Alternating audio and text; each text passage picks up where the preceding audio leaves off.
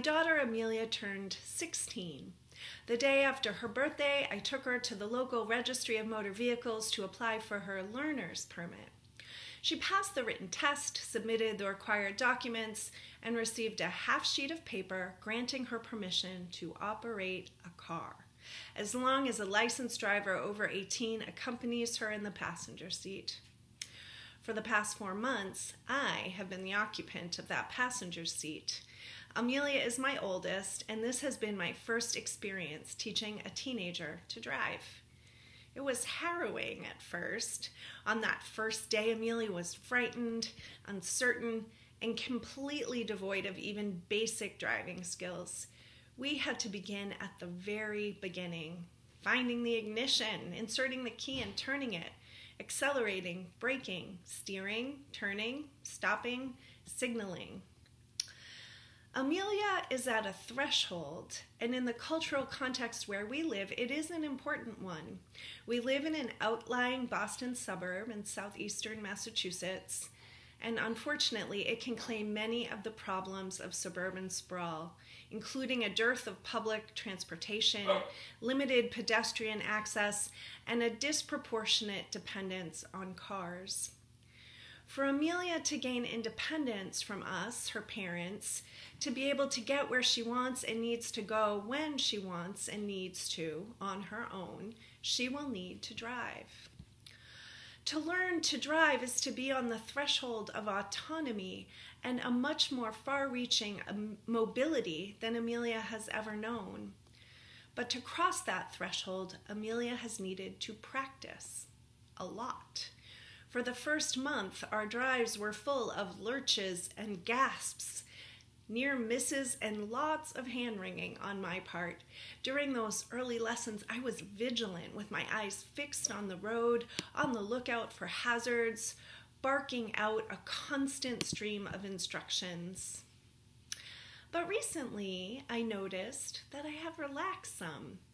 As Amelia practices and grows more skilled and confident at the wheel, my vigilance has decreased. I sometimes even find my thoughts drifting from the road in front of me as she almost seamlessly transports us to our destination. Witnessing Amelia master a new and important skill has reminded me of other times when she has arrived at a threshold and set to work practicing. From her earliest days, Amelia has been really good at learning new things, at overcoming fear, failure, and frustration through practice and more practice. It's one of the qualities I most admire in her that willingness to persist at learning new things.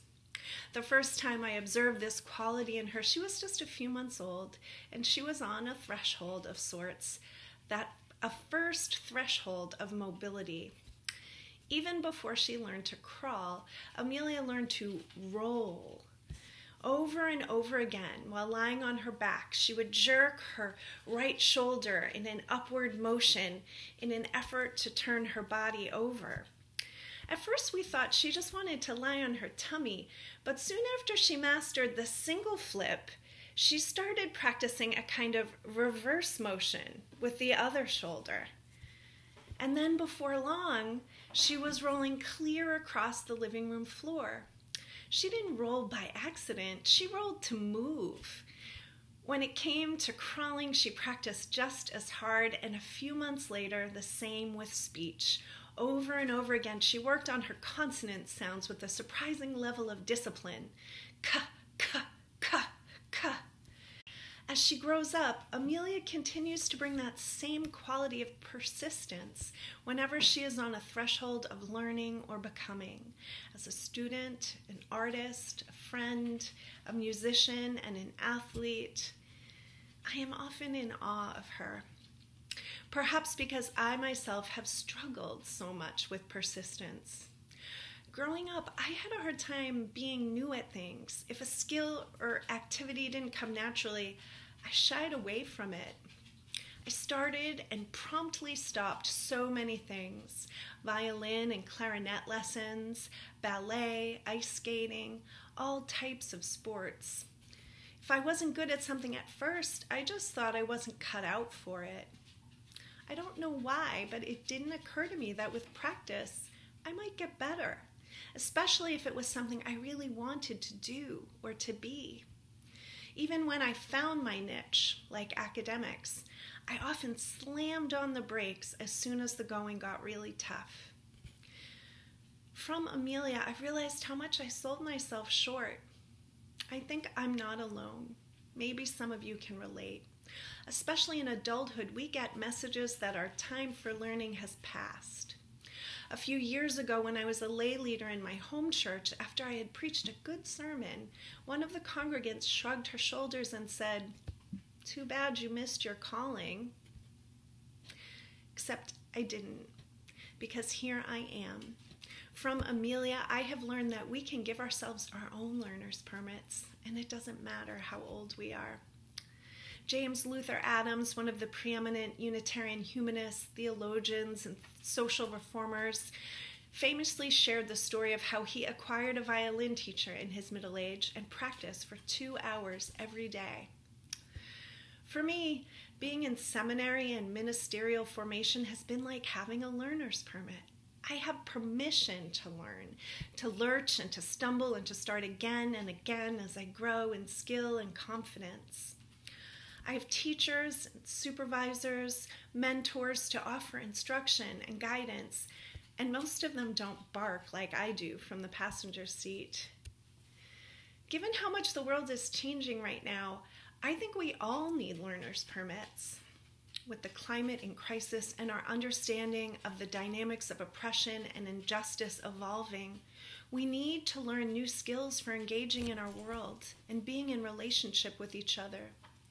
We learn we need to learn how to get places in new and more sustainable ways.